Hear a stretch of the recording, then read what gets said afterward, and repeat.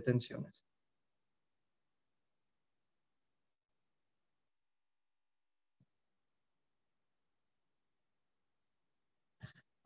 Ok, si no hay más consultas, entonces comenzamos con, con estos ejercicios que preparé para hoy.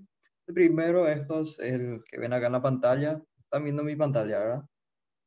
Sí, deberían. Sí, se ve. El enunciado, el enunciado dice, el elemento diferencial de la figura es sometido a los estados P y Q.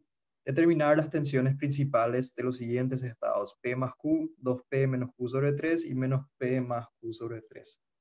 Este es un problema muy, muy famoso, sale casi todos los semestres en alguno de los, de los exámenes, siempre sale algo parecido a esto, donde les da un estado P y un estado Q y les pide distintas cosas para combinaciones, por ejemplo, para P más Q o para 2P menos Q3.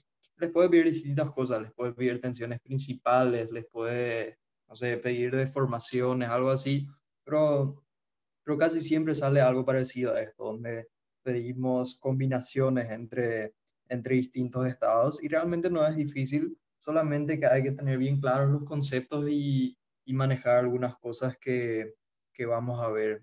Entonces, como para que vayan entendiendo bien, vamos a resolver este ejercicio primero solamente para el estado P y después solamente para el estado Q y vamos a hallar las tensiones principales para ambos estados y después nos vamos a concentrar en lo que nos pide el ejercicio, en las, en las tensiones principales de esas, de esas distintas combinaciones. Acá tienen indicados los estados P y Q, donde el estado P en el, en el si queremos llamarle X al eje horizontal eh, y al eje vertical, entonces en el eje X está sometida a una compresión de 300 kilogramos por centímetro cuadrado, en el eje Y a una tracción de 270 y también algunos esfuerzos cortantes de 50 que obviamente ustedes ya saben por equilibrio deben ser iguales estas tensiones cortantes en los, en los dos planos. Y según, según nuestra convención de signos que solemos tomar, ¿quién me puede decir si esta tensión cortante es positiva o es negativa? Positivo. Es positiva, ¿verdad? Porque tiende a hacerle girar en sentido horario a nuestro, a nuestro elemento diferencial. Entonces, todas las cortantes que intentan hacerle girar esto en sentido horario, ser cortantes positivas, serían esta 50 y este 50. Y las tensiones cortantes en los planos a 90 grados, obviamente por equilibrio son, son de signo opuesto, o sea que serían negativas estas dos tensiones cortantes. La convención de signos es importante que la mantengan. ¿Y por qué es importante que la mantengan? Y y porque después en el giro, en el, perdón, en el círculo de Moore, vamos a hacer giros, vamos a girar nuestros elementos, vamos a hacer distintas cosas. Y, y si ustedes empiezan a cambiar esto, por ejemplo, si yo digo que ahora mi, mi tensión cortante positiva va a ser esta, entonces lo que va a pasar es que cuando ustedes giren su círculo de Moore en sentido antihorario, el elemento va a estar girando en sentido contrario y y cosas que complican la, la, resolución de los problemas. Por eso es que sugerimos que, que siempre mantengan esta, esta convención de signos. Obviamente es una convención, como todas las convenciones, y se puede cambiar, solo que por, por conveniencia les recomendamos que mantengan esta, esta convención. Es el estado P, también el, estado Q, que tiene solamente tensiones cortantes. El estado Q no tiene ninguna tensión normal en el eje X y tampoco tensión normal en el, en el eje Y. Tienen solamente tensiones cortantes. Pero bueno, vamos a resolver ahora el, el, problema primero para el estado P y después para el estado Q, así como, como les había dicho. Entonces, ¿qué es lo primero que podemos calcular? Obviamente nosotros estas, estas transformaciones, buscar las, las tensiones principales, lo vamos a hacer mediante el círculo de Moore. ¿Por qué mediante el círculo de Moore? Y porque es la, la forma más fácil de hacer esto. Hay otras ecuaciones analíticas para, para sacar esto, pero lo más fácil es encarar esto por el lado del el círculo de Moore. Entonces, ¿cuáles son los elementos que a nosotros nos definen una circunferencia? Y son el centro y su radio, ¿verdad? Si nosotros sabemos dónde está ubicado el centro de un círculo y, y también conocemos su radio, entonces ya podemos ubicar cada punto sobre la circunferencia, saber dónde están sus su máximo y mínimo y, y, las distintas cosas. Entonces, vamos a intentar hallar eso, vamos a intentar hallar el centro de nuestro círculo de Moore y vamos a intentar hallar el, el, el radio del círculo de Moore.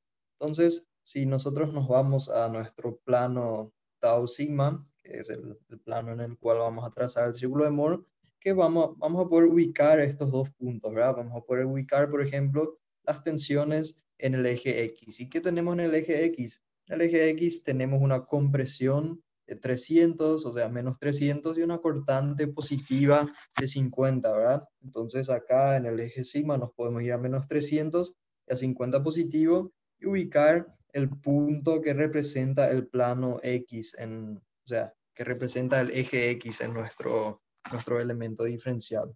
Entonces ya tenemos ubicado un primer punto. Y también podemos ubicar este segundo punto, el del correspondiente al eje Y, ¿verdad? que tiene una tensión normal de 270 y una tensión cortante de menos 50. Entonces nos vamos hasta acá, hasta, hasta 270 y vamos a menos 50 y tenemos ubicado el punto correspondiente al, al eje Y en el, en el elemento diferencial. Tenemos ubicados estos dos puntos. Ahora bien, nosotros sabemos que en el círculo de Moore todos los ángulos son el doble de lo que tenemos en el elemento diferencial, ¿verdad? Por ejemplo, un, un ángulo de 45 grados, y nosotros este elemento lo giramos 45 grados, entonces en el círculo de Moore se produce el doble, o sea, se produce un giro de 90 grados.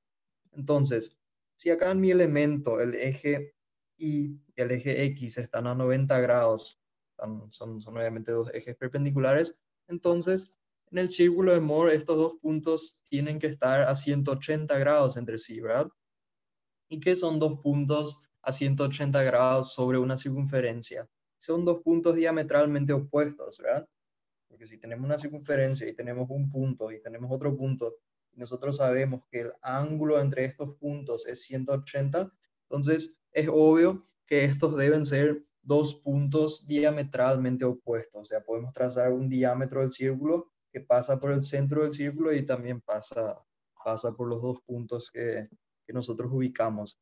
Y es esa la condición que nosotros vamos a utilizar para determinar el centro de nuestro, de nuestro círculo de Moore. ¿Cómo? Y sabiendo que la línea que une los dos puntos X e Y, esta línea que ustedes ven acá, que ya está trazada en el, en, en el documento escaneado, es una línea que pasa por el centro del círculo. Entonces, ¿cómo vamos a determinar esa posición del centro? Y va a estar en el punto medio, ¿verdad? Porque tenemos el radio de un lado y del otro lado también tenemos el radio. O sea que el centro del círculo está en el punto medio entre estas dos, entre estas dos, entre estos dos puntos X e Y que ya tenemos ubicados. Bueno, entonces podemos calcular esa, esa distancia, ¿verdad? Esa distancia acá en el sentido en el sentido horizontal y también la distancia en el sentido vertical. Y como siempre las tensiones cortantes en dos planos perpendiculares son iguales, o sea, siempre esta tensión es 50 y esta tensión es 50, entonces en el sentido vertical siempre el promedio va a dar cero, ¿verdad? Porque va a ser menos 50 más 50 sobre 2, va a ser cero. Entonces, siempre el centro del círculo está sobre el eje sigma el, centro del círculo nunca tiene una coordenada vertical, nunca tiene un, valor de tau, siempre está sobre el eje sigma. Entonces esa es una primera condición que ya, ya podemos saber y que vamos a poder aplicar siempre. Ahora, la segunda condición, el punto medio en el sentido horizontal. Y tampoco es difícil hallar, ¿verdad? Es simplemente todo el total de esta distancia dividido 2. ¿Y cuánto vale el total de esta distancia?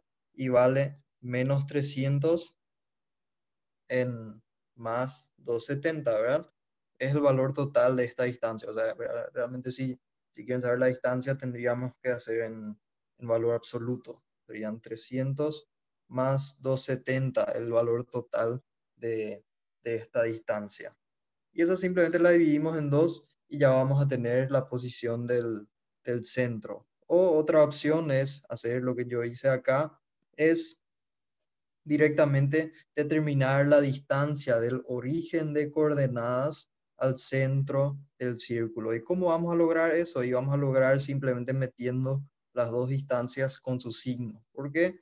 Y porque esta distancia acá, esta vale menos 300 y esta vale 270. Entonces, si nosotros hacemos menos 300 más 270, ¿qué nos va a dar esto? Esto nos va a dar la, o sea, la, qué, qué tan grande, cuánta es la diferencia entre 300 y 270, ¿verdad? O, o cuánto más grande es esta distancia acá que la distancia del otro lado. Nos da la diferencia. Y si esa diferencia la dividimos en dos, ya vamos a tener un punto que está ubicado en el, en el centro del círculo. Entonces, para obtener la distancia entre el origen de coordenadas y el centro de nuestro círculo, simplemente, vamos a hacer sigma x más sigma y sobre 2. Ya nos va a dar la, la posición, la distancia del origen de coordenadas al centro del círculo. Y esto también lo pueden aplicar de manera general. Siempre, siempre el, el centro, o sea, siempre la distancia del origen al centro del círculo va a ser la semisuma entre, entre dos puntos diametralmente opuestos. Siempre que ustedes conozcan las tensiones en, en dos puntos que en el elemento diferencial están a 90 grados entre sí, van a poder hacer la semisuma entre, esos dos, entre esas dos tensiones y les va a dar la, la, distancia del, del, origen al centro de coordenadas, lo cual solemos llamar OC. ¿Por qué OC? Y porque es la distancia del punto O al punto C. Y el subíndice sigma le pongo simplemente porque cuando después empecemos a trabajar con transformaciones de tensiones y transformaciones de formaciones en un mismo ejercicio, entonces ahí conviene, conviene diferenciar entre el OC del, del círculo de tensiones y el OC del, del círculo de formaciones que le solemos llamar OC epsilon. Simplemente por eso está ahí el, el subíndice sigma. En este caso, la distancia OC, la distancia al centro, de, del origen al centro del círculo, nos salió menos 15. ¿Y qué es menos 15? Y significa simplemente que está hacia el lado negativo, ¿verdad? Está hacia acá. Esta distancia es menos 15 lo cual también según nuestro gráfico parecía lógico. Al, trazar nuestro gráfico, el centro caía en un, en un punto negativo, digamos. Por eso es importante cuando ustedes tracen su círculo de Moore. Obviamente es difícil hacer perfectamente a escala a mano, pero sí pueden hacerlo bastante aproximado y, y van a tener un, una validación cualitativa, digamos, de sus resultados. Van a poder ver más o menos, bueno, este signo parece que está bien, este signo tiene sentido y eso van a poder hacer cuando, cuando tracen más o menos a escala su, su, su círculo de Moore. Bueno, ya, tu, ya obtuvimos entonces la, la, distancia del origen al centro del círculo. Tenemos el primero de los dos elementos que necesitamos para describir totalmente nuestro círculo. Ahora habíamos dicho que necesitamos el centro y el radio. Ya tenemos el centro y nos falta el radio. ¿Se entendió hasta acá? ¿Alguna consulta? No. Ok, bueno, entonces seguimos. ¿Cómo determinamos el radio, el siguiente elemento que nos falta? Y si observamos esto, podríamos simplemente hacer una relación de triángulos, ¿verdad? Porque acá tenemos un triángulo rectángulo. Se nos formó un triángulo donde el cateto es esta distancia, el otro cateto es esta distancia y la hipotenusa es el radio del círculo, ¿verdad? ¿Por qué? Porque este es el centro del círculo este es un punto situado sobre la circunferencia del círculo, por lo tanto esta distancia debe ser el, debe ser el radio de la, la circunferencia. Ahora bien, ¿cómo podemos determinar estos catetos? ¿Quién tiene una, una idea de cómo podemos, voy a llamar C sub 1 y C sub 2? ¿Cómo podemos determinar estos, estos catetos?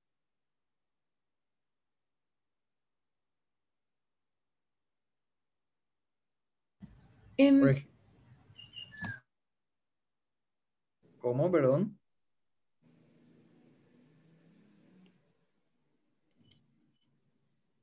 Por ejemplo, C sub 1. ¿Cómo podríamos determinar C sub 1? La distancia del centro al punto X, o sea, la, la distancia horizontal entre el centro y el punto X. ¿Y no podría ser X menos el centro? Digo, la distancia del cero al centro. Sería la distancia al punto X que conocíamos, ¿verdad? Que era esta que valía menos 300 y también conocemos esta partecita acá que vale menos 15. Entonces lo que queda acá obviamente va a ser en, en valor absoluto 300 menos 15, ¿verdad? Va a ser la distancia que nos queda. Entonces ya tenemos el primer cateto del, de nuestro triángulo, triángulo rectángulo. Y va a valer 285. Ahora, el segundo cateto, ¿cuánto vale? es la distancia vertical entre el eje sigma y el punto X, ¿verdad? ¿Y cuál era esa distancia? Es simplemente el tau del, del, punto X, ¿verdad? Este 50, ya, ya lo habíamos ubicado en el gráfico, o sea que va a ser simplemente 50 la altura de este, de este cateto 2. Ahí sí, una vez Perdón, tengo una pregunta. ¿Viste que sumando en valores absolutos, eh, tu 300 y 270, eso es el diámetro, ¿o no? Y no puedo hacer eso y dividir entre dos. Tipo, me sale 285 también. Sí, va a ser lo mismo. Va a ser lo mismo. Ah, ok. Sí, va a ser, puedes sumar los 300 más 270 y dividir entre dos y te va a dar esta misma, esta misma distancia. Mostré nomás esto porque me parece un poquito, o sea, em, es más la interpretación geométrica acá, digamos. Entonces, teniendo estos dos catetos, teniendo el cateto 1 y teniendo el cateto 2, entonces simplemente mediante Pitágoras podemos sacar el valor del radio, ¿verdad? Que en este caso el radio del círculo de tensiones, acá faltó al cuadrado, va a ser sigma x menos OC de sigma más tau de xx al cuadrado. Y esto también lo van a poder aplicar en general. En general, cuando ustedes conocen la tensión en un punto, le restan la distancia OC, siempre lo que les queda es este cateto 1 y no, no importa si es hacia el otro lado, por ejemplo, si fuese hacia este lado. ¿Cuánto va a ser esta distancia? Esta distancia también la podemos determinar con la fórmula sigma i menos OC sigma. ¿Y por qué menos OC sigma? Menos porque ya es lo negativo, entonces va a ser 270 menos menos 15 y nos va, nos va a dar también 285 este resultado. O sea que esta es una fórmula, una fórmula general que siempre la pueden aplicar, obviamente metiendo todas las tensiones con sus, con sus signos. En este caso, por ejemplo, 300 es negativo y vamos a meter menos 300 menos menos 15 nos va a dar menos 285 y como está elevado al cuadrado, entonces este menos no importa y siempre, siempre vamos a poder usar esa, esa misma fórmula.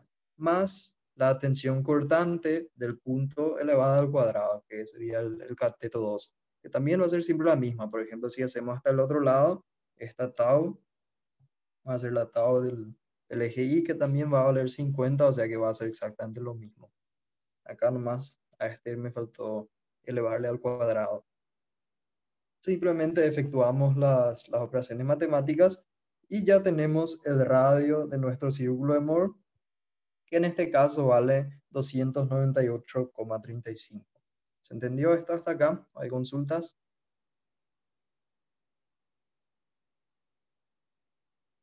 ¿Se entiende, profesor? Bueno, entonces, perdón, ¿alguien iba a preguntar algo? No, no, que se entiende todo. Ah, ok, genial. Bueno, entonces ahora sí tenemos totalmente definido nuestro círculo de ¿verdad? Tenemos el centro y tenemos el radio. Con eso ya podemos ubicar todos los puntos que, que nos interesen. Y ahora sí podemos determinar lo que nos pide el ejercicio, las tensiones principales. ¿Quién me dice la definición de tensiones principales? ¿Qué, ¿Qué, son las tensiones principales y dónde están ubicadas?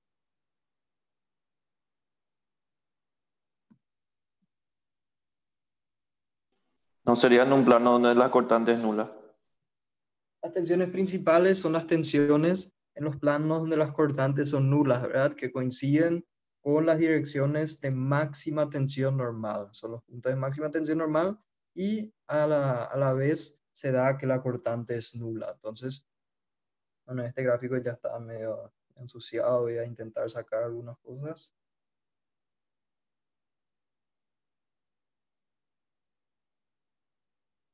Entonces, eso se da, por ejemplo, en este punto acá, ¿verdad? En este punto acá, la tensión normal es máxima y la tensión cortante es nula. Y lo mismo se da en este punto acá, en el extremo opuesto, donde la tensión cortante es nula o donde el círculo intersecta al, eje, al eje sigma. Entonces, ¿cómo podemos calcular el valor de estas tensiones principales? Y es bastante fácil, ¿verdad? Si nos colocamos en el centro del círculo y nos vamos una vez el radio hacia ambos lados, ya vamos a tener esos dos puntos, ¿verdad? Porque son todos puntos situados sobre, sobre una misma circunferencia. Entonces, las tensiones principales, sigma 1, por ejemplo, va a ser OC más radio y sigma 3, que es la, la otra tensión principal, la, la, mínima, a veces también le llaman sigma 2, no importa realmente si le llaman sigma 1, si, si le llaman sigma 2, sigma 3, va a ser OC menos radio.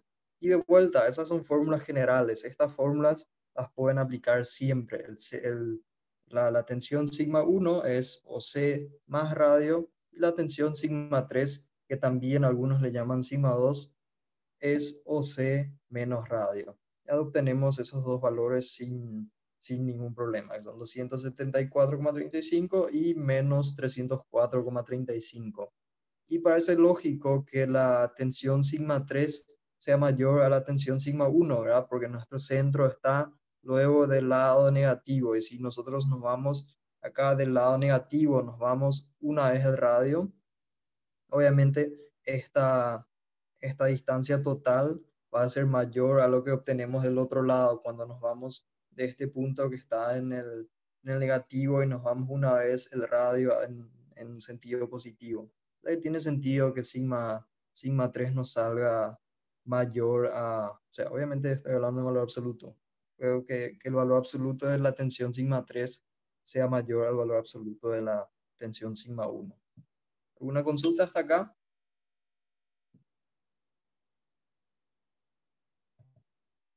Bueno, entonces ya obtuvimos las tensiones principales del estado P. Vamos a hacer esto mismo también para el estado Q. Vamos a obtener, disculpen, las tensiones principales del estado Q. El estado Q realmente es un estado bastante simple, ¿verdad? Porque es, es un estado al cual también le solemos llamar estado de corte puro. No hay ninguna tensión normal en esto. No hay sigma X, no hay sigma Y.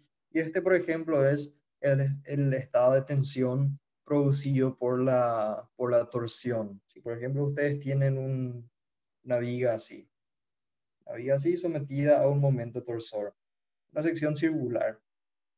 Entonces en algún punto intermedio acá van a tener la sección circular, así, y eventualmente alguna vez les pedimos que, que calculen las tensiones cortantes producidas por la torsión, que habíamos visto que tienen una distribución así, ¿verdad?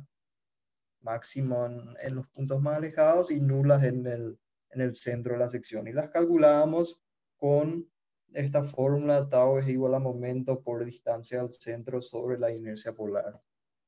Entonces, si por ejemplo yo les pedía analizar un elemento diferencial situado acá, un elemento diferencial en este punto. Entonces, esta tensión cortante 110 la íbamos a calcular de esta forma. Tau es igual al momento por el radio, porque íbamos a estar en el punto más alejado, dividido la inercia polar. Un estado de corte puro es, por ejemplo, el estado producido por la, por la torsión.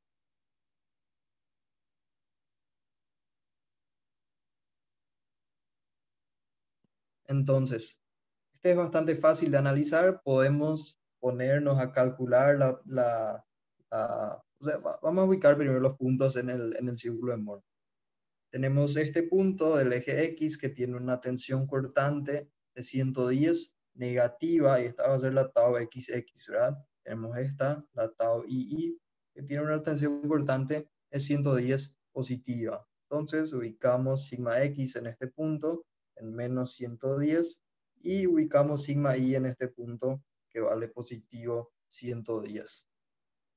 Podríamos, por ejemplo, calcular el OC de este círculo ante la misma fórmula que ya habíamos visto, lo que habíamos visto acá, sigma x más sigma y sobre 2. Sigma x más sigma y sobre 2, en este caso va a ser 0 más 0 sobre 2, es igual a 0, lo cual concuerda con nuestro gráfico, ¿verdad? Si nosotros trazamos una línea que une estos dos puntos diametralmente opuestos, esta línea pasa por el centro, o sea, le corta al eje horizontal en el centro, o sea, en, en, en sigma igual a cero. Por lo tanto, nuestra distancia OC es también nula.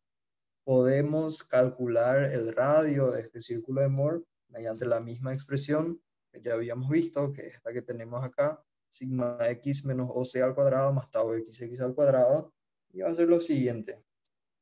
Sigma x que vale 0, menos OC que también vale 0 al cuadrado, más tau xx al cuadrado.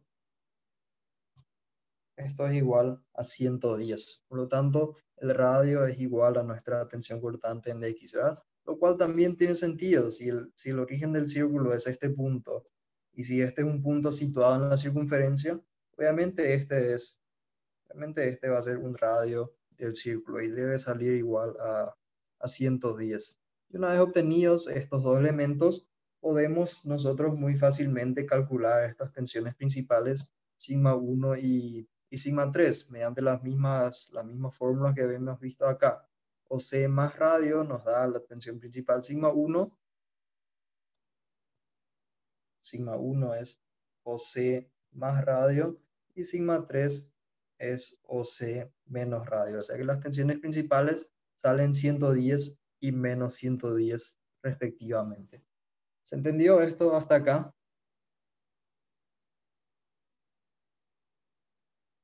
Sí, profe. Ok, entonces ahora ya entrando a ver lo que nos podía, no, lo que nos pedía el ejercicio, que era determinar las tensiones principales de estos, de este estado P más Q y otros más, vamos a entrar ya a hacer un pequeño análisis y les quiero mostrar el, el por qué nosotros resolvimos esto para, para los dos estados. Por ejemplo, si alguien de ustedes ahora puede estar tentado a hacer esto, me, pues, me pueden decir que la tensión sigma 1 del estado P más Q va a ser igual a la tensión del, del estado, del, perdón, la tensión sigma 1 del estado P más la, más la tensión sigma 1 del estado Q. Alguien puede estar tentado a hacer esta expresión y les quiero mostrar por qué esto no está bien. Y para eso vamos a analizar algunos ángulos. Por ejemplo, en este caso de acá, ¿a cuántos grados está la tensión sigma 1 del eje X? En el círculo de Moore están a 90 grados, ¿verdad? Para irnos del, de, de sigma X hasta la tensión principal 1, nos tenemos que ir 90 grados en, en sentido antihorario. Y lo mismo para irnos de, de sigma i a sigma 3, nos tenemos que ir 90 grados en sentido antihorario. ¿Qué significa eso? Significa que si nosotros tomamos este elemento diferencial que tenemos acá y lo giramos 45 grados, ¿por qué 45 grados? Y porque en el elemento diferencial giramos la mitad de lo que giramos en el, en el círculo de Moore, ¿verdad? Vamos a girar acá 45 grados, así. Entonces, en este elemento vamos a tener lo siguiente. El eje X que originalmente estaba acá, ahora este va a ser nuestro, nuestro punto sigma 1 y en ese, en, en ese plano vamos a tener una tensión normal de 110 de tracción, así. 110 110. Y en este plano que vamos a tener, y es el plano que está a 45 grados del eje Y, ¿verdad? O a 90 grados en el círculo de Moore del eje. Y ahí que tenemos, y ahí tenemos compresión, 110. 110. Este sería el elemento diferencial girado 45 grados, de modo que acá actúen nuestras, nuestras tensiones principales. Y fíjense, no hay ninguna tensión cortante acá, justamente por la definición misma de, tensiones principales, que no hay tensiones cortantes en los planos donde actúan las tensiones principales, ¿verdad? Bueno, eso hicimos para el estado Q. Vamos a analizar también el estado P. ¿Cuánto deberíamos girar el estado P para llegar a, los a, a las tensiones principales?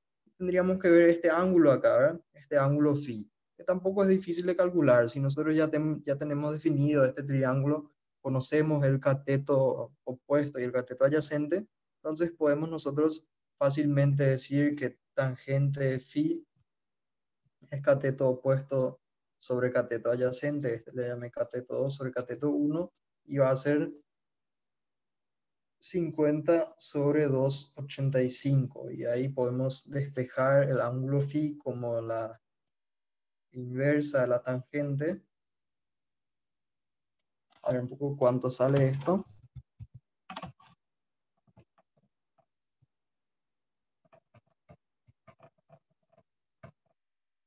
Esto da un ángulo de 9,95 grados. O sea, si nosotros queremos llegar del eje X al eje de la tensión principal, sigma 3, debemos irnos 9,95 grados en sentido, en sentido antihorario. Y esto en el círculo de...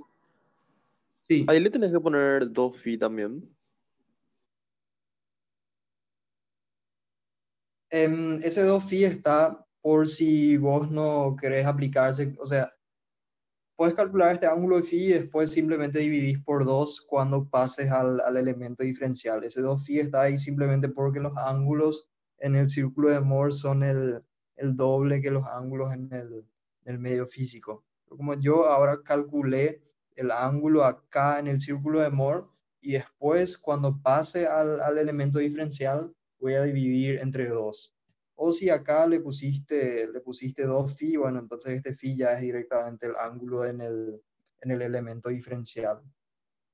¿Se entiende eso? Sí, gracias. Ok, dale, bueno, yo en este caso calculé el ángulo ahí en el círculo de Moore y voy a dividir entre 2 para pasar al, al, al elemento diferencial.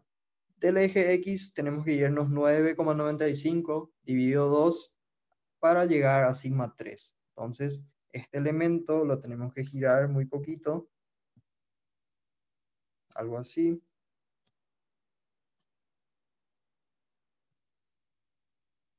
Este ángulo acá va a ser 9,95 dividido 2. 4,9, 4, voy a poner 5 porque es 4,95 grados. 5 grados aproximadamente y ahí que vamos a tener, ahí en este plano vamos a tener actuando la tensión sigma 3 y en este plano vamos a tener actuando la tensión sigma 1. Así, que tienen sus respectivos valores que ya habíamos calculado acá. Sigma 3 salía menos 300 y sigma 1 más 274. Pero lo que les quería mostrar es esto. Fíjense cómo estos elementos, cuando están en el plano donde ocurren las tensiones principales no tienen la misma inclinación, ¿verdad? Un elemento está inclinado 5 grados y el otro elemento está inclinado 45 grados. Por lo tanto, esta tensión sigma 1 y esta tensión sigma 1 no están en el mismo plano y nosotros no podemos sumar directamente tensiones que no están en un mismo plano. Y es por eso es que no se puede hacer esto, lo que les dice acá. Sigma 1 del estado P no se puede sumar directamente con sigma 1 del, estado Q y obtener con eso sigma 1 del estado P más Q. ¿Por qué? Y porque en un caso general no están en el mismo plano. Puede darse algún caso particular en el cual este sigma 1 y este sigma 1 estén en el mismo plano, pero tendría que ser un, un caso muy, muy particular. En general, no podemos hacer eso. ¿Se entiende esto? ¿Por qué no podemos sumar directamente estas tensiones principales?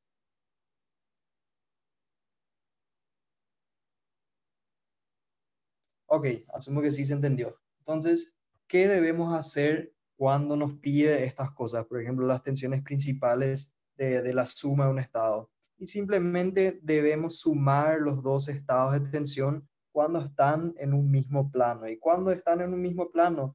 Y por ejemplo acá, en la forma que el ejercicio nos da el dato, ¿verdad? Acá donde, donde el ejercicio nos da el dato, ambos elementos están con cero grados respecto a los ejes X e Y, o sea, no, no tiene ninguna, ninguna inclinación y ahí sí podemos directamente sumar estas dos tensiones. Por ejemplo, para obtener el estado P más Q, directamente basta con sumar estos dos. Por ejemplo, ¿qué vamos a tener en el eje Y?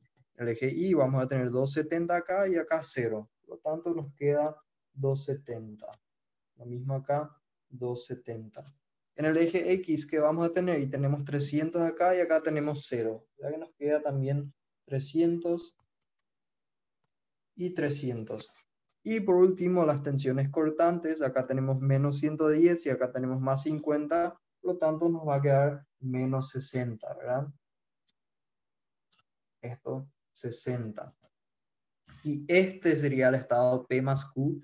Y de este estado nosotros debemos calcular las tensiones principales y no hacer este análisis por separado y sumar las, las tensiones principales. Ahora bien, este ejercicio es muy fácil y es muy lindo porque ambos elementos están inicialmente en el, en el mismo plano, o sea, ambos están con cero grados respecto a, a X e Y. Pero yo les cuento que en un examen muy probablemente ese no sea el caso. En un examen probablemente el profesor les dé el estado P de esta forma y el estado Q con una con una cierta inclinación de, no sé, 30 grados, algo así, como para que ustedes no puedan sumar directamente. Entonces, en ese caso, ¿qué tienen que hacer? Y tienen que girar su elemento, tienen que trazar el círculo de Moore para ese elemento inclinado. Van a tener un cierto, un cierto elemento. Supónganse que, no sé, cualquier círculo de Moore. Les haya dado este círculo de Moore Así obtuvieron el círculo de Moore para el elemento inclinado. Aquí está inclinado 30 grados. Así. Bueno, entonces ahora nosotros debemos, si esta era nuestra X e Y original, entonces esto debemos girar 30 grados para llegar al plano horizontal y poder sumar con nuestro otro elemento que está con 0 grados respecto a, a, a este eje. Entonces, en el círculo de Moore nos vamos y obviamente giramos el doble, porque si en el medio físico son 30 grados, en el círculo de Moore son 60 grados, y vamos a llegar a un punto algo así. Le podemos llamar a esto de x' e y', a 60 grados.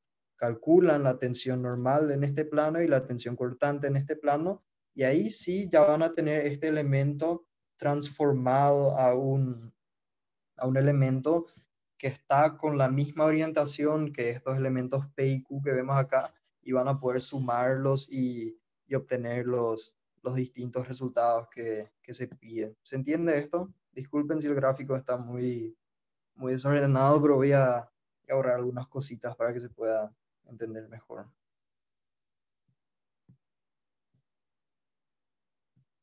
Profe, en el caso de que tenga, por ejemplo, los dos los dos elementos diferenciales inclinados, o puede uno eh, poner, eh, ¿cómo se dice? girar tal que quede como el otro. Así mismo, eso puedes hacer, puedes girarle a uno, por ejemplo, si tenés un elemento inclinado a 45 grados, esto sea 45, y otro elemento inclinado 30 grados, un poquito menos, que esta inclinación sea 30 grados. Entonces, puedes, puedes girarle a los dos y llevarle a los dos a este plano X y sumar ahí.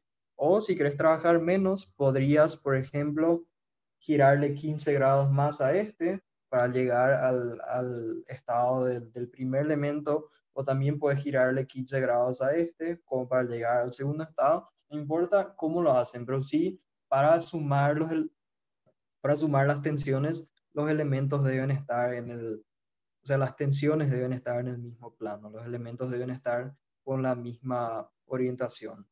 Cualquier forma que hagas, no hay ningún problema, solo que deben estar en, en la misma orientación. Y es muy importante tener en cuenta el sentido en el cual giran, porque no es lo mismo girar de acá 60 grados en sentido antihorario o girar 60 grados en sentido horario. Deben girar en el sentido correcto como para llegar a la, a la posición correcta, digamos. ¿Alguna duda hasta acá?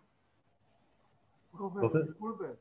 Eh, en cuanto al ángulo de P y Q, ¿por qué el 110 ese es paralelo, eh, es, sigma 1, ¿verdad?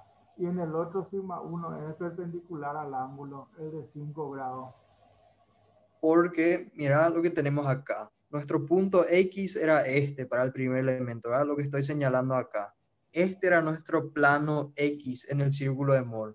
Y si nosotros nos vamos a partir de este X, voy a dibujar en otro color para que se vea mejor acá en azul, Si nosotros vamos de este X y nos vamos 9,95 grados, el ángulo que habíamos, que habíamos calculado, ¿a dónde llegamos? Llegamos a sigma 3, ¿verdad? Llegamos a esta tensión mínima. No llegamos a sigma 1 que está acá al otro lado.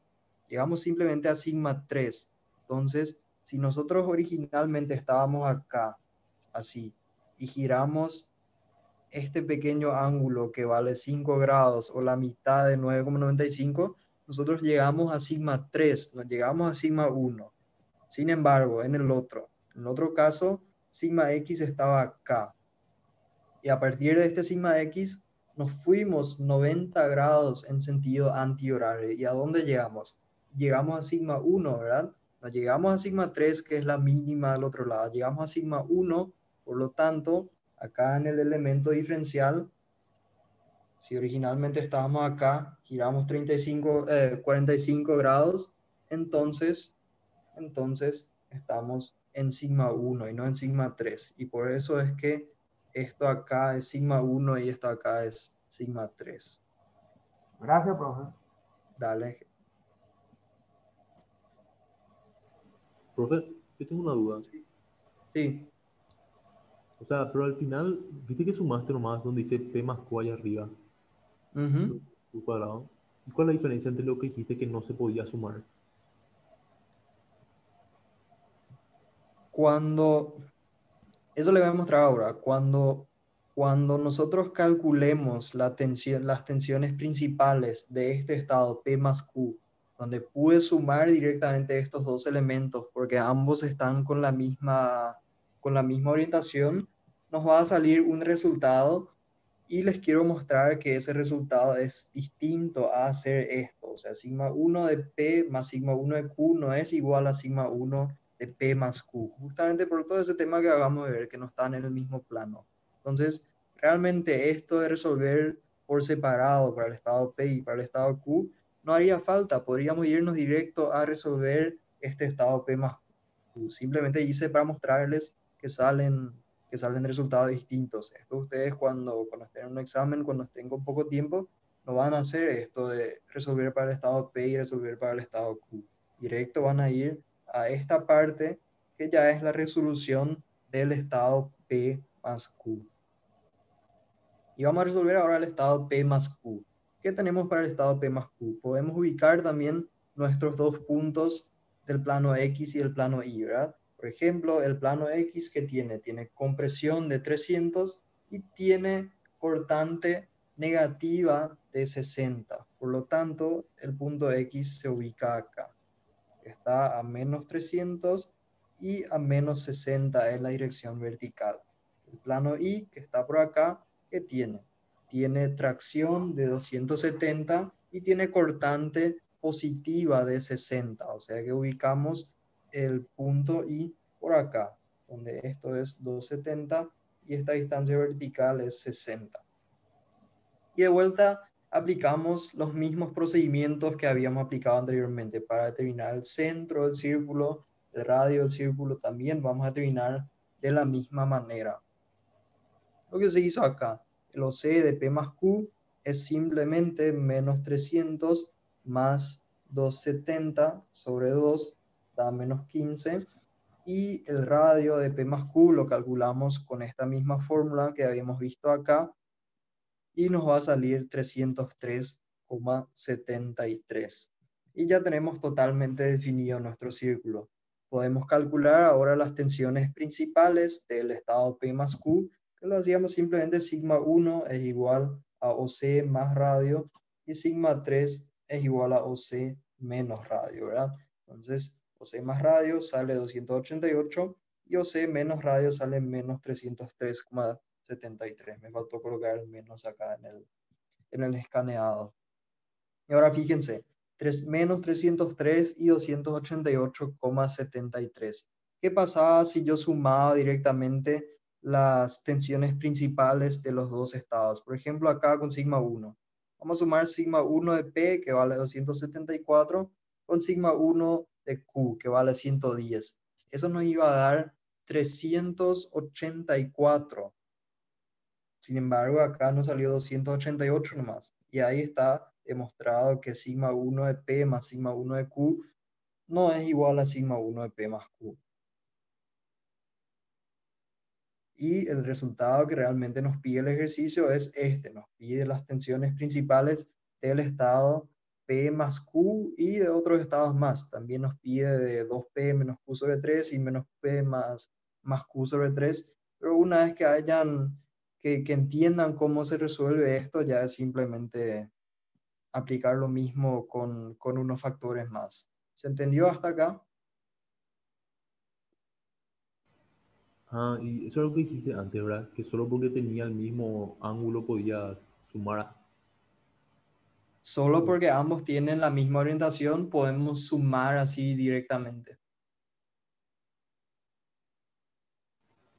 Calvin. Gracias. Sí. En el estado Q, en ese círculo de amor, ¿cómo yo sé si, o sea, si llevar sigma X hasta sigma, y hasta sigma 1 o sigma Y hasta sigma 1?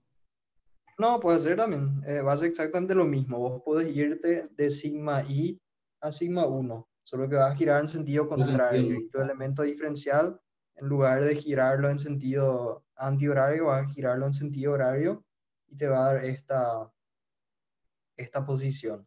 Y ahí. A ver, y el ángulo que giraste va a ser este. 45 ah, grados en ese sentido. Bueno, entonces lo que originalmente era el eje X, que es este, ahora va a estar acá. ¿Y qué va a actuar en el eje X? Si vos giraste en sentido antihorario, va a ser sigma 3, ¿verdad? Entonces acá va a actuar sigma 3. Y lo mismo acá en el otro va a actuar sigma 1. Y fíjate que el resultado es exactamente el, el mismo. Ya, dale, gracias. Dale, de nada.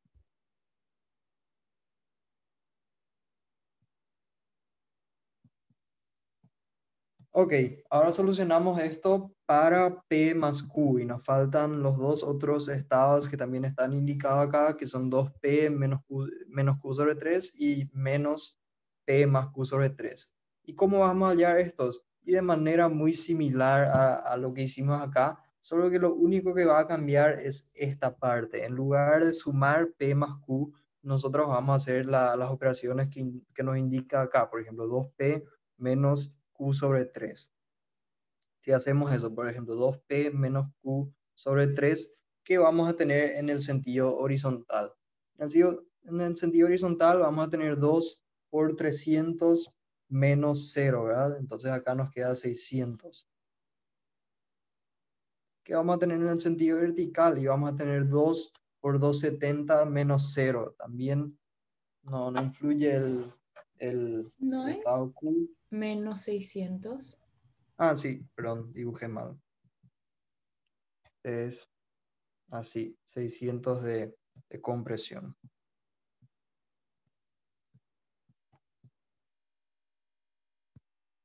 600 y en el sentido vertical tenemos 2 por 270, 540.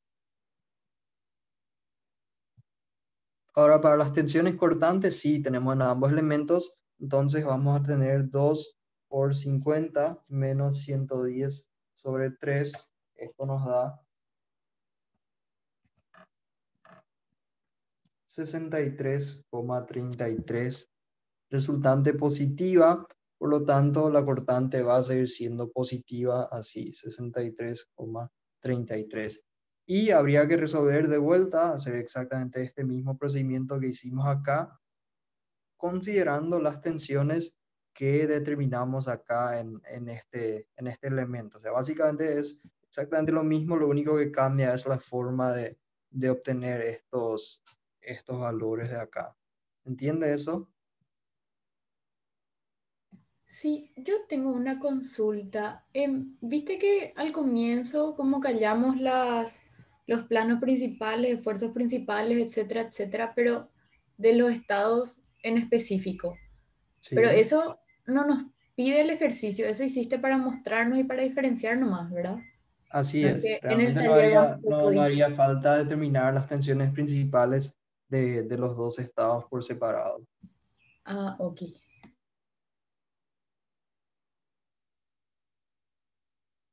Ok, si no hay más consultas, entonces esto les dejo para que alguien pueda resolver si tienen ganas o si no, si ya entendieron, tampoco es, es muy necesario que resuelvan. Y vamos... yo te quiero preguntar una cosita. En, si, si es que nuestro plano llegaba a ser inclinado, por ejemplo, ahora como habías dicho que podría llegar a salir, ahí sí tenemos que hacer el estado, por ejemplo, el estado P y el estado Q, tipo con el giro, ¿verdad? Tipo, ahí sí va a ser necesario. ahí sí, por, por ejemplo, supone que este estado P está así como está y el estado Q estaba inclinado a, 45 grados. Entonces el estado P, como no le vas a girar, le dejas así, no hay ningún problema. Sí vas a tener que trabajar con el estado Q para girarle estos 45 grados y llegar al plano en el cual está el, el estado P como para poder sumarle. No, no haría falta resolver el estado P también por separado, pero sí el, el, el que esté inclinado, el elemento que va a girar, ese sí vas a tener que resolver por separado. Ah, dale, profe. Y, o sea, y hacemos eso y después si nos pide, por ejemplo, eso, qué sé yo, como lo que nos pide ahí en el ítem B y C, ¿verdad? Ahí usamos lo que ya hallamos principalmente, ¿verdad? Tipo, para seguir resolviendo ahí, eso. Ahí ya vas a ver, seguro ahí, o sea, ahí tu resultado ya va a ser que giraste este elemento, ahí ya vas a haber girado ese elemento y vas a tener el estado Q en, en horizontal y vas a tener unas ciertas tensiones cualesquiera acá, pero sí ya vas a tener el estado Q en el mismo plano que el estado P.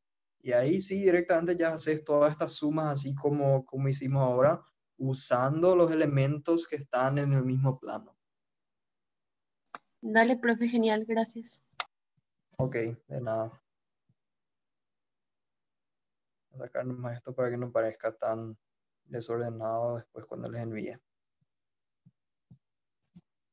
Ok, vamos entonces al segundo ejercicio de hoy, si no hay más consultas. Dice, para la estructura de la figura, calcular las tensiones principales en los puntos A y B. Y es una viga sometida a carga distribuida que tiene un voladizo y los puntos A y B, ¿dónde están situados? Están situados en este punto, en la sección S, que está a 0,5 metros del apoyo. Y los puntos A y B son estos dos. El punto A es el que está en, el filo superior de la sección. El punto B es el que está en el cambio de, ancho de la, de la sección T.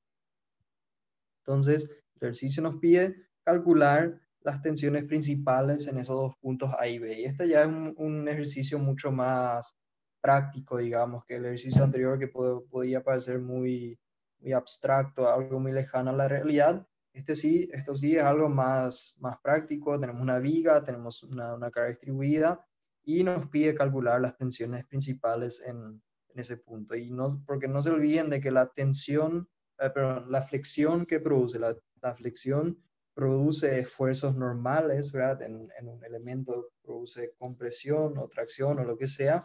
Y aparte, si hay fuerza cortante, también tenemos fuerza, eh, esfuerzo cortante, ¿verdad? O sea, podemos tener las, las, las dos cosas y no necesariamente esta tensión normal sigma que calculamos acá es la máxima tensión normal. Esta tensión sigma es la tensión en el, en el sentido horizontal, digamos, pero si nosotros llegamos a girar un poquito nuestro elemento, podemos encontrar algún punto donde la tensión normal sea un poquito mayor a la, a la que determinamos con esa fórmula simple de la flexión. En general, la diferencia no es tanta porque estos esfuerzos cortantes tau no son muy altos. Entonces, la, tensión principal generalmente no es muy diferente a la tensión normal en el, en el eje de la viga, pero puede haber pequeñas diferencias y eso es lo que vamos a ver acá. Entonces, lo primero que debemos hacer, saber es el momento flector y la fuerza cortante en esta, en esta sección S. Es donde nosotros queremos analizar las tensiones, por lo tanto también tenemos que saber el momento y, y la cortante en esa sección. Eso cada uno se puede poner a calcular, no tiene ni un secreto, es simplemente calcular un momento flector y una fuerza cortante en, en esa sección. El momento es 0,9, momento negativo, o sea que las fibras superiores van a estar traccionadas y la fuerza cortante es 2 positiva, o sea que los elementos son distorsionados en, en este sentido. Así. Bueno, entonces, obtenidos estos, estos momentos y, y cortante, podemos ya calcular los esfuerzos sigma y tau en los dos puntos, ¿verdad? El esfuerzo sigma y el esfuerzo eh, tau en los puntos A y B los podemos calcular mediante estas fórmulas de, las, de la flexión simple que ya habíamos visto cuando, cuando dimos la, la unidad de flexión y no tiene mucho secreto aplicarlos. Lo único que tenemos que tener en cuenta es que esta sección no es simétrica, entonces capaz nos cueste un poquito determinar la posición de la línea neutra y la inercia respecto a esta línea neutra, pero tampoco es tan complicado, simplemente deben calcular la posición del centroide, que en este caso salió 33 centímetros, esta distancia es 33 centímetros, y posteriormente calcular la inercia respecto a esa, a esa línea neutra, con todos los procedimientos que ya, que ya vimos. Y ahí sí, ya vamos a tener todos los elementos necesarios para calcular las tensiones. Por ejemplo, si queremos saber la tensión en el punto A. La fórmula nos dice momento por distancia a la línea neutra sobre I. Entonces, el momento es 0,9 toneladas por metro por la distancia cuánto vale la distancia de la línea neutra al punto A, y va a ser esta distancia, ¿verdad? Y si la, si la de abajo es 33, entonces lo que nos queda arriba es la altura total menos 33, o sea, 42 más 6 menos 33, lo cual parece que da 15. Por eso está el 15 acá. Todo esto dividido la inercia. La inercia que también calculamos, la inercia respecto a la línea neutra y por un factor por 10 a la quinta que le multipliqué acá, que es porque mi momento está en toneladas por metro y yo estoy metiendo los datos de geometría en centímetros y me interesa también que la tensión salga en kilogramos por centímetros. Entonces, este tonelada por metro yo transformo a kilogramos por centímetro. Primero por mil para pasar kilogramos, después por 100 para pasar centímetros. De ahí salió ese 10 a la quinta que. Simplemente un factor por las por las unidades de medida. Y nos sale que la tensión normal en el punto A es 12,23 kilogramos por centímetro cuadrado. Exactamente de la misma forma podemos hacer esto para el punto B, donde lo único que va a cambiar es la distancia a la línea neutra, ¿verdad? Por el punto B está acá, no está en el filo superior de la sección. Entonces nos queda acá esta distancia cortita, que parece que vale 9 centímetros, y nos da una tensión normal de 7,34 kilogramos por centímetro cuadrado. Esas son las tensiones normales en los puntos A y B. También podemos calcular las tensiones cortantes en esos dos puntos mediante esta fórmula de Collignon que ya habíamos visto también, ¿verdad? Nosotros sabemos que los esfuerzos cortantes tienen una distribución como esta, y que en el, en el filo superior de la sección obviamente son nulos, son, son nulas. ¿Y por qué son nulas? Y porque no hay momento estático, ¿verdad? No hay momento estático, no hay ningún área que está por acá encima para calcular el momento estático. Entonces, la tensión cortante para el punto A es nula. Para el punto B, la tensión cortante la podemos calcular fácilmente, donde B es la fuerza cortante, 2000 kilogramos, 6 por 42 por 12 es el momento estático de esta área. Acuérdense que el momento estático es área por distancia del centroide de esta área al, a la línea neutra. En este caso vale 12. Acá 6 por 42 es el área, 12 es la distancia del centroide, dividido la inercia y por el ancho de la sección. Y ahí tenemos un lindo problemita, ¿verdad? Porque estamos en el punto B, que está situado en el cambio de ancho. ¿Y cuál de los dos anchos tomamos? y vamos a hacer lo más razonable que haría cualquier persona que no quiere que su, su estructura se caiga, ¿verdad? Va a tomar el caso más desfavorable. ¿Y cuál es el caso más desfavorable? Y es tomar el antro 6, ¿verdad? Para que nos dé este pico de tensión y no el otro punto que está, que también está en, en, el, en la, la, misma altura, pero ya considerando el, el ancho de 42 centímetros. Cuando, cuando ustedes calculen tensiones así en, en zonas de, de cambio de ancho, les recomiendo siempre tomar el... Disculpen, cayó mi celular. les recomiendo siempre tomar el menor de, de, de los valores posibles de, de, tal manera que les dé la, la situación más desfavorable. Entonces, por eso es que tomé el 6 y me dio una tensión cortante de 9,13 kilogramos por centímetro cuadrado. Y ahí sí, ya tenemos todos los esfuerzos calculados como para pasar a, analizar los elementos diferenciales situados en los puntos A y B. Por ejemplo, si analizamos el punto A, ¿qué tenemos en el punto A? Ustedes tienen que imaginarse que este elemento diferencial A que yo dibujé acá es una parte la viga, sea, acá sigue la viga, así. Es la viga. Yo simplemente aíslo un pequeño elemento diferencial, la parte superior situada en el punto A esta sería la sección A, o sea, la sección S, ¿verdad? La sección en la cual calculamos los esfuerzos. El punto A está situado en esa sección en la parte superior del, de, la, de la viga. Está el punto A. En ese punto A, ¿qué tensiones tenemos? Y habíamos visto que acá hay un diagrama de tensiones sigma, así, ¿verdad? Que en la parte superior está traccionado y en la parte inferior está está comprimida porque está sometida a momento negativo y esta tensión sigma la calculamos, vale 12,23, ¿verdad?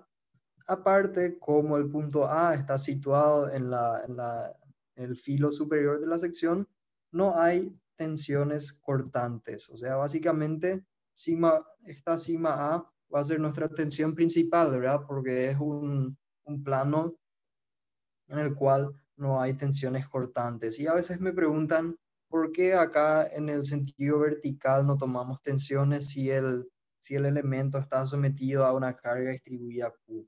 Y es simplemente porque este análisis de, de transformación de esfuerzos y, y de funciones que hacemos es considerando solamente las tensiones internas del material.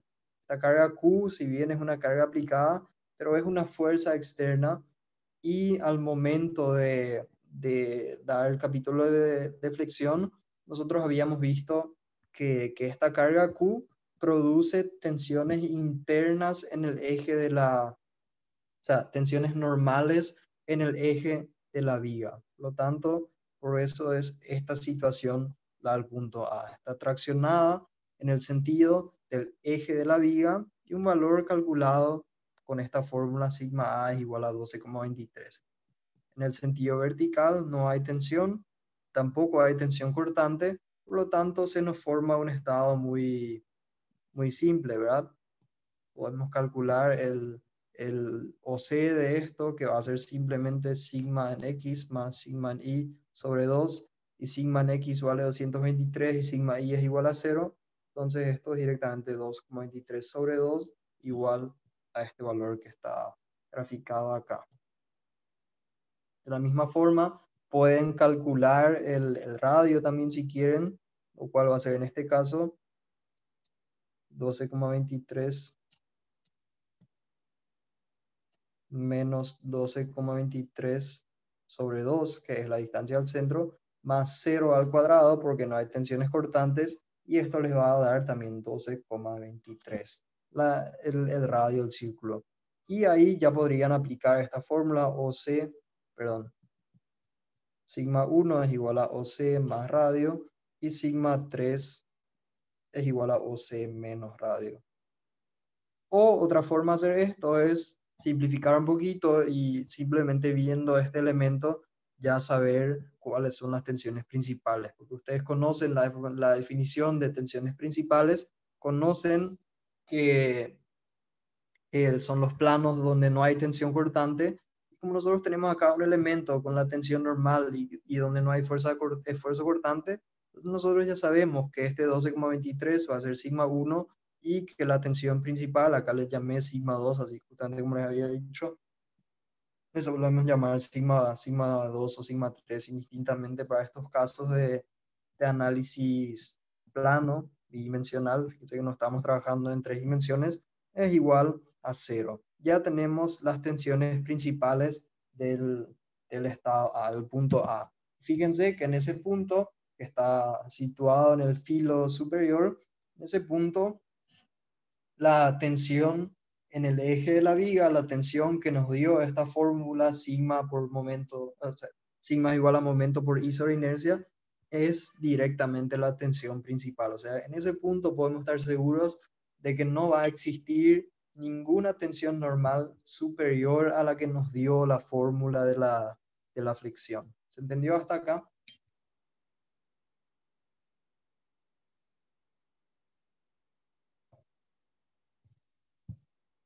Ok, si no hay consultas, entonces vamos al estado B, que es un estado un poquito más complicado, pero tampoco es difícil de analizar.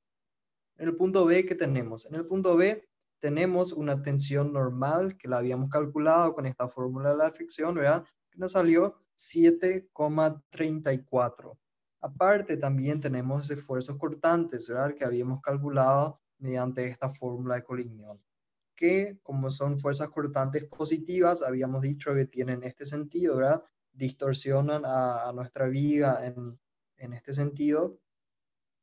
Por lo tanto, yo al elemento diferencial le aplico los esfuerzos cortantes en el mismo sentido y se nos da esta situación. De vuelta, no hay tensión normal en el, en el eje vertical por todas las hipótesis que hacemos, que tratamos solamente las tensiones internas y y de vuelta, esto está muy limitado porque, ¿se acuerdan ustedes que cuando nosotros analizamos vigas y hablábamos de la hipótesis de Navier-Bernoulli y esas cosas, y, y les decía que la longitud tiene que ser más de, más de 10 veces la altura de la viga para que se cumplan esas condiciones? Y todas esas condiciones se deben cumplir como para que no haya tensión vertical en este punto. Cuando, por ejemplo, en materias más avanzadas estén trabajando con casos mucho más complicados, como por ejemplo las paredes de un tanque de agua. Los tanques de agua pueden, de hormigón obviamente estoy hablando, pueden tener esta forma, por ejemplo, donde tienen un pilar acá, que es un apoyo, otro pilar acá, y no son largas, pueden tener, no sé, tres metros, y pueden tener dos o tres metros de altura también. O sea, acá, acá no se cumple eso de que la longitud es mucho más grande que la altura. Y en estos casos tampoco ya no se cumple que en un elemento diferencial situado por acá, la tensión vertical es nula. Esto ya no se va a cumplir cuando, cuando dejemos de trabajar con, con vigas muy, muy alargadas. Y realmente este análisis es, es muchísimo más complicado y escapa del, del alcance de, de, resistencia a materiales. Y, es por eso que no, no, no analizamos tampoco vigas de este tipo acá en, de resistencia a materiales. Eso nada más como comentario para que sepan que, que esta hipótesis de, de, no poner ninguna tensión vertical en esta cara tampoco es, es universal y no se cumple siempre. Pero sí se cumple bastante bien en, en, en los casos como tenemos acá, una viga de 6 metros de longitud con, con 50 centímetros de altura. Ahí sí se cumple, se cumple sin mayores problemas. Tenemos entonces este estado de tensión y de vuelta podemos hacer todo el análisis, ¿verdad? Si por ejemplo queremos ubicar este eje X en un, en un círculo de Moore, ¿qué vamos a tener? Tenemos tensión de 7,34 y tenemos cortante positiva de 9,13. Ahora veo que acá en el círculo realmente está mal el gráfico. Acá tendría que estar. Porque la cortante 9,13 es cortante positiva. Por acá debería estar el punto del eje X. En el eje Y que tenemos, tenemos cortante negativa de 9,13, o sea, sería este punto que está por acá, el eje Y. Unimos estos dos puntos mediante una recta que por todas las cosas de geometría que vimos podemos estar seguros que pasa por el centro del círculo.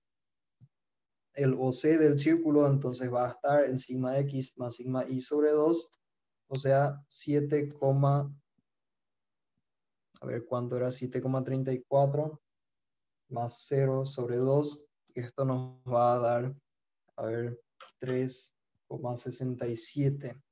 Y ahí ya tenemos todo lo necesario para calcular el radio, ¿verdad? Porque nosotros podemos calcular este cateto C1, podemos calcular este cateto C2 o conocemos este cateto C2 que es igual al esfuerzo cortante 9,13. Entonces, radio es simplemente este cateto que va a valer 7,34 menos 3,67 al cuadrado más la cortante que vale 9,13 al cuadrado. Ahora veo que está también desarrollado ahí. Esto da 9,84 el radio del círculo de Moore. Y ahí de vuelta, mediante la misma, la misma aplicación de estas fórmulas que tenemos acá, podemos determinar las tensiones principales y nos va a dar el, el resultado que vemos acá. Si bien mi, mi, gráfico estaba mal, yo dibujé hacia abajo en lugar de dibujar hacia arriba, el valor de las tensiones principales va a ser el, el mismo. Sigma 1, que es OC más radio, sale 3,51 y sigma 2, que es OC menos radio, sale 6,17. Y fíjense que este sigma 1 vale 3,51 y este sigma 1 vale 12,2 nomás. O sea que nosotros capaz podríamos pensar que en una viga la máxima tensión normal que puede ocurrir esté en este punto más alejado, ¿verdad? Pero finalmente al hacer este análisis de, de tensiones principales, incluyendo los, los esfuerzos cortantes y todas las cosas, nos damos cuenta que la máxima tensión principal realmente está acá en el punto B, no está en el punto más alejado de la línea neutra. Y eso hay que tener en cuenta a veces en, en algunos diseños y por eso es muy interesante resolver este, este tipo de ejercicios. Y acá también está determinado el ángulo que hay que girar a partir del eje X para llegar al estado sigma 1. Simplemente que esto está dibujado en sentido contrario porque acá dibujé en sentido contrario también. Habría que cambiarle a este ángulo y dibujarlo hacia abajo. El valor, si no me equivoco, está bien. Simplemente habría que dibujar este elemento así. A ver. Originalmente estaba en horizontal y hay que girarle para abajo. Y ahí la tensión esta va a ser 13,51 y esta va a ser realmente 6,17.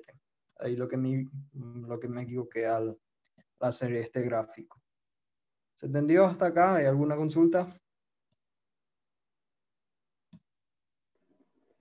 Yo tengo una consulta acerca de la tensión cortante, Calvin. Decime. En, ahí para la fórmula usaste 2000 kilogramos o 2 toneladas, pero ¿eso se refiere al gráfico del, o sea, quitaste el gráfico de las cortantes. De las cortantes, sí. Calculé la fuerza cortante en este punto, que coincide con la cortante en este punto que también vale 2. Pero no, es una coincidencia nomás. La cortante en esta sección S vale 2000 kilogramos. Asimismo como el momento en esta sección vale 0,9 toneladas por metro. Tienen que ser los cortantes y momentos de esa sección. ¿Y el 2,5 no tendría en cuenta en ese punto? No, porque la sección S, fíjate que está acá, está a 0,5 metros del apoyo, no está en el apoyo. Acá en el apoyo vale 2,5, después decrece y en la sección S llega a valer justito 2. Ya, ya, perfecto, gracias. Dale, de nada.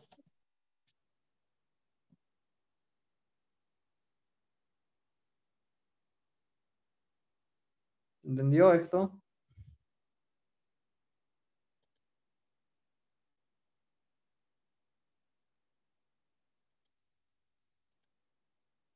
Sí, profe. Em, la inercia, lo que no sé, no, no entiendo bien el último miembro que hiciste. El 12 al cuadrado, no 12 al cuadrado. La inercia es simplemente, o sea, lo que yo hice fue esta sección T, la dividí en dos rectángulos rectángulo y este rectángulo acá abajo.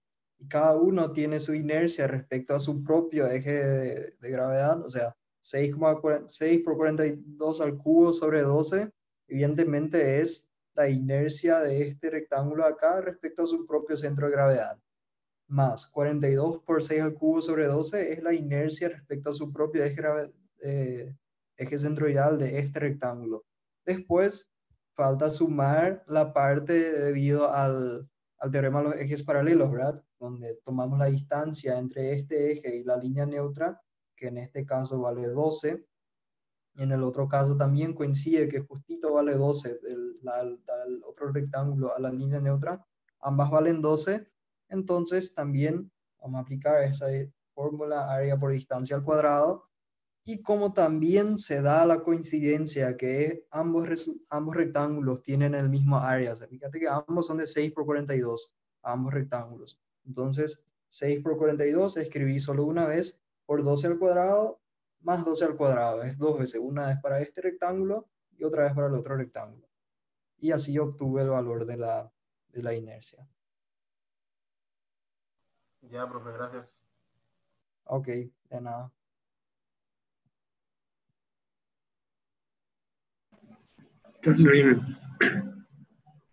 Sí, decime. Ese gráfico de Tau no estaba levemente desfasado. A ver. Este decís. Sí. ¿Por qué? Y por el punto B nomás ya. O sea, ahí lo que vos ah, tenés sí, sí. Ahora veo, ahora veo. Sí, sí, discúlpame. El cambio, el, el salto debería sí, estar el salto acá, está ahí. Y el máximo está en la línea neutra. Sí, sí, sí. Así. Ah, este tiene que decrecer un poquito después la línea neutra y ahí recién se da el salto. Está bien. Ahí está, sí. Gracias. Dale, de nada. Gracias a vos.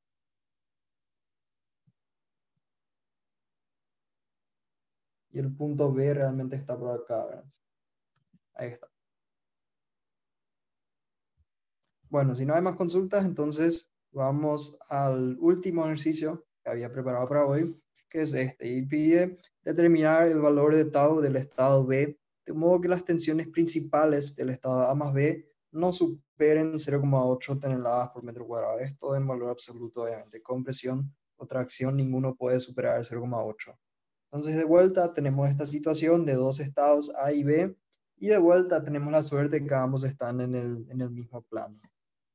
Entonces, vamos a resolver, en este caso, como el estado tau es una, incógnita, entonces podemos de vuelta tratar estos, estos efectos por separado o tratarlos los dos juntos al mismo tiempo. No hay, no hay realmente problema a ver un poco.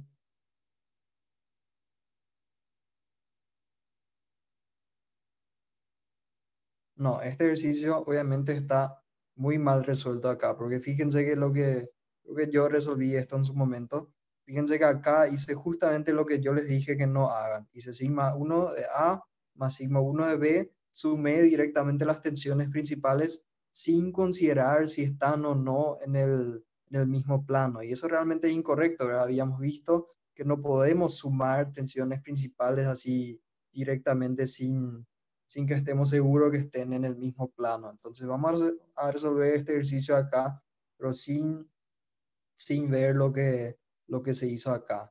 Y vamos a, a realizar el procedimiento que les había mostrado. Vamos a sumar el estado A más el estado B. Como están en el mismo plano, los podemos sumar sin mayores problemas, ¿verdad? Entonces, la tensión normal en este eje es 0,4. La tensión normal en el eje vertical del estado A más B es 0,1 más 0. Por lo tanto, esto es 0,1. También es 0,1. Y vamos a sumar también las tensiones cortantes, que los dos son las dos son negativas. Y va a ser negativo 0,4 más tau y esto también 0,4 más tau. Así. Este sería nuestro estado A más B, ¿verdad? Del cual nosotros podemos trazar nuestro, nuestro círculo de Moore. Entonces, vamos a trazar el, el círculo de Moore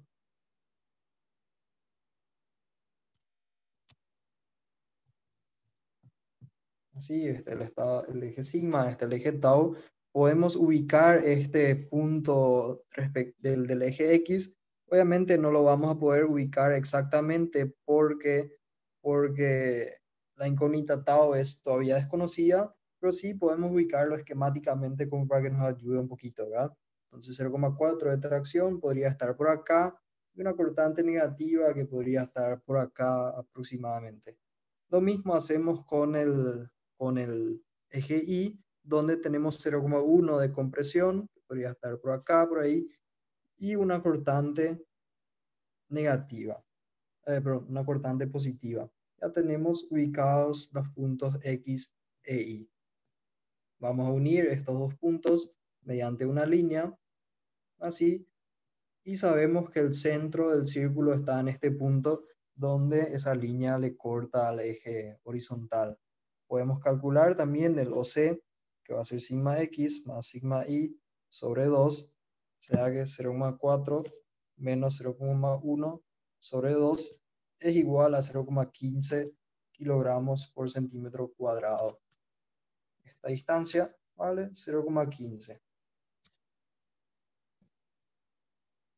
Ya tenemos ubicado el centro de nuestro círculo y el radio obviamente va a ser un poquito más complejo. El radio va a ser más completo porque está ahí la incógnita tau que nos puede complicar un poquito, pero tampoco es imposible. Y vamos a hallar el radio. El radio lo vamos a hallar de la misma forma que ya, ya habíamos visto. Sigma x menos OC al cuadrado más tau x al cuadrado. Esto siempre por el análisis de geometría que hicimos, que ya, ya mostramos hace rato. Entonces esto es 0,4 menos 0,15 al cuadrado más 0,4 más tau al cuadrado, que es el esfuerzo cortante en el eje X. Y esto es igual al radio. Y se nos complica un poco porque tenemos ahí la incógnita, pero tampoco es, no es nada imposible de resolver. Simplemente voy a resolver ese primer término de la raíz. Esto va a ser 0,06 más 0,4 más tau al cuadrado. Raíz de esto es el radio. Y ahí vamos a aplicar las definiciones que conocemos, ¿verdad? Para calcular las tensiones principales. Porque acuérdense que lo que nos decía el ejercicio es que las tensiones principales deben ser menores a 0,8. Entonces, sigma 1 es OC más radio. Sigma 1 es igual a OC, que vale 0,15. Y para el radio tenemos una expresión de esta forma, 0,06 más raíz de 0,04, perdón, 0,4, no 0,04, más tau al cuadrado, así. Esta es la expresión para sigma 1, que debe ser menor o igual a 0,8, ¿verdad? Para poder despejar este, esta incógnita tau. Y fíjense que esta es una ecuación con una sola incógnita. Acá tranquilamente ya podemos despejar el valor de tau. Puedo, por ejemplo, pasar este 0,15 al otro lado y me va a quedar 0,65 mayor o igual a raíz de 0,06 más 0,4 más tau al cuadrado. Elevo al cuadrado ambos miembros y tengo 0,42 menos 0,06 mayor o igual a 0,4 más tau al cuadrado.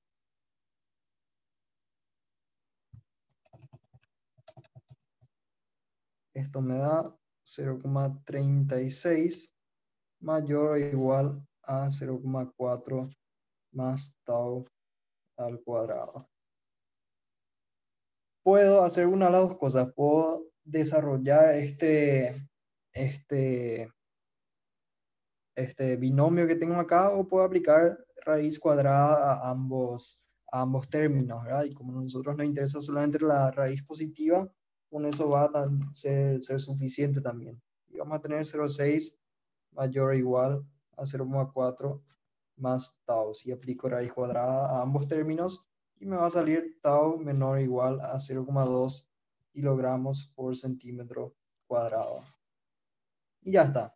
Ya tenemos un primer valor de tau como para que sigma 1 sea menor a 0,8. Nos falta el otro, nos falta controlar que sigma 3 también sea menor a 0,8. Y vamos a hacer de la misma forma, lo único que va a cambiar es este signo menos en nuestra, nuestra fórmula, ¿verdad? Y obviamente este 0,8 va va a ser negativo.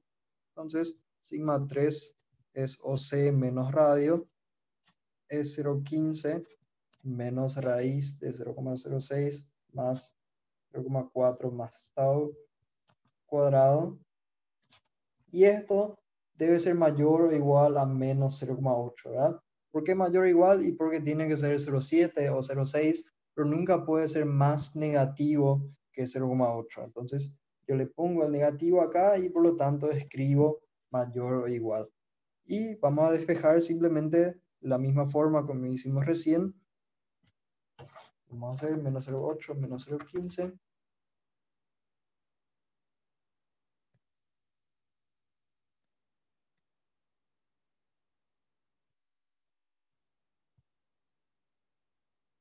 Avísenme si ven algún lugar donde me, me equivoco, puede pasar sin, sin ningún problema.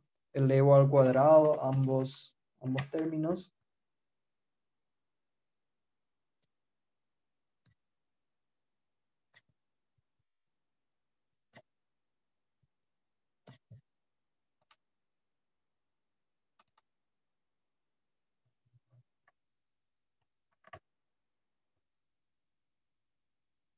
Esto me da 0,84 menor o igual a 0,4 más tau al cuadrado.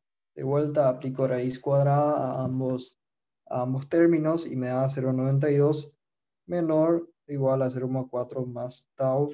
Y de ahí tau mayor o igual a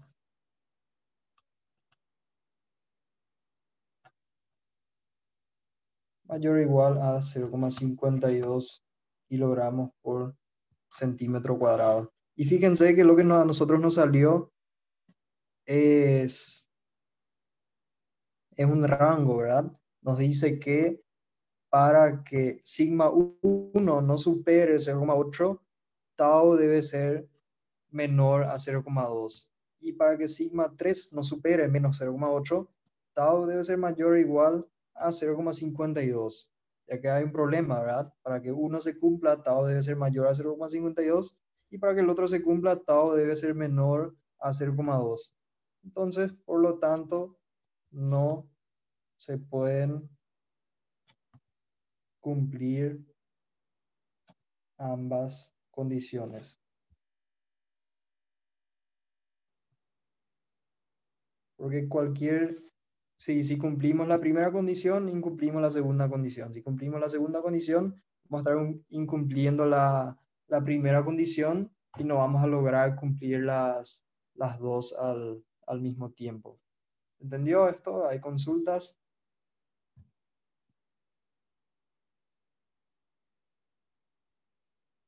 Y fíjense que este es un resultado totalmente distinto al que me salió acá al sumar directamente las tensiones principales. Probablemente haya sido cuando yo todavía no era muy experto en estas cosas y resolví sin, sin pensar mucho.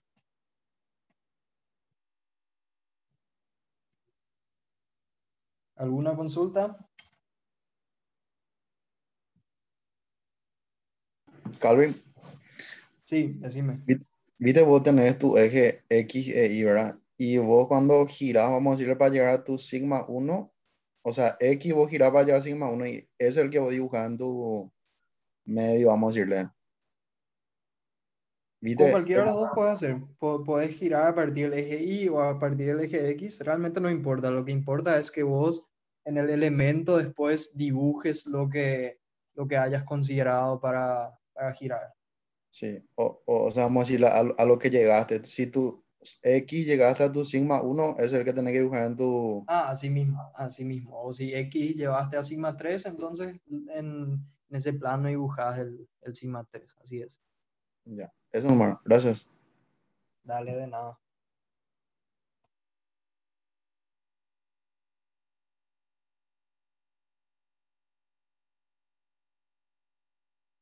¿Ninguna otra consulta que tengan?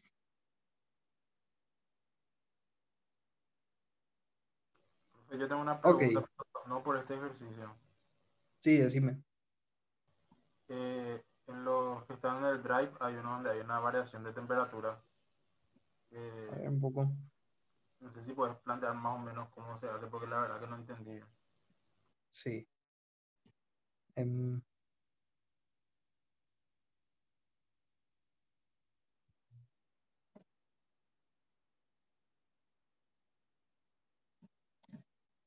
¿No sabes en cuál, en esta transformación de Sí, el 1 esfuerzos? Hay un PDF 1, creo que es el primero. es.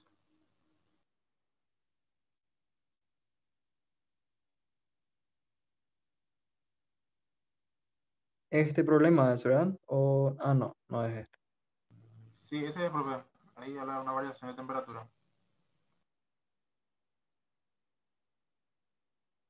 Ah, ya, sí, sí, ya. No, me pareció lo, este es un problema de resistencia de materiales 2, porque fíjate que acá, aparte de, de, de haber momento flector en la... No sé por qué está metido acá, pero esto es un problema de resistencia a materiales 2, porque aparte de haber momento flector, también hay fuerza normal, y cuando hay una combinación entre momento flector y fuerza normal, de pasar a llamarse flexión simple, se llama flexión compuesta, porque lo que se da es que en la, acá en la sección, aparte de tener el diagrama de sigma que calculas con este momento por I sobre inercia, tenés también un sigma por la compresión axial, que sigma igual a fuerza sobre área. Entonces, la, la, tensión en cualquier punto es realmente la suma entre ambas y se forma una ecuación como fuerza sobre área más momento por I sobre, sobre inercia, que es la ecuación que acá en algún momento habrá, habrá usado, no sé, no sé dónde acá abajo seguramente hizo, usó, pero son, son conceptos de resistencia 2, así que este ejercicio no, no aplicaría resistencia 1. Ah, ya, entonces creo que todo el PDF, porque la verdad que no entendí ninguno de ellos. A ver un poco de este. Sí, este es lo mismo. Acá el, el esfuerzo cortante tau tiene una cierta excentricidad y, y genera, genera algo similar. A ver, este. Este realmente no, este es, un, un, sea, es una solicitación combinada, pero es momento flector, normal y torsión. Son los tres efectos que, que estudiamos en resistencia material, es uno, y, y, simplemente se hace una superposición. Lo que acá, eh, cuando ustedes den los problemas de solicitaciones combinadas, probablemente entiendan un poquito mejor esto. Me, me, me imagino que no dieron todavía la, la unidad de solicitaciones combinadas. Creo que no, porque es la, la, la última unidad que se da en, en, esto. Así que este PDF en todo caso sería para un poco más, más adelante. Ahí este problema lo puedes resolver sin mayores problemas. Y también estos otros problemas que están acá, eventualmente si, si, si querés, lo puedes tratar como un problema de solicitaciones combinadas, una, una solicitación de momento y una solicitación de normal combinadas, y se da eso eventualmente podrían resolver, pero no, no por ahora, creo, no antes de dar la unidad de solicitaciones combinadas. Vale, profe, gracias. Ok, de nada. Pero sí, este otro PDF, vamos a ver un poco que hay acá. Estos sí son problemas de resistencia 1. Y ves acá ya ven que está el estado 1, 2 y 3 y el estado 3 está, está inclinado. Hay que acá van a, a trabajar un poquito más. Estos todos son problemas de, de resistencia 1.